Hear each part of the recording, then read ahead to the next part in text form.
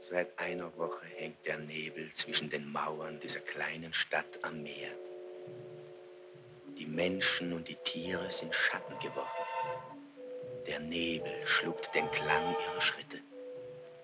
Wie nass der Nebel ist, nass und kalt. Die kleine Brücke im Hafenviertel scheint ins Nichts zu führen.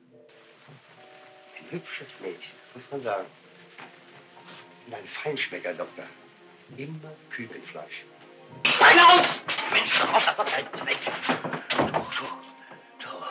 Dich besuche ich noch mal im Zuchthaus, du.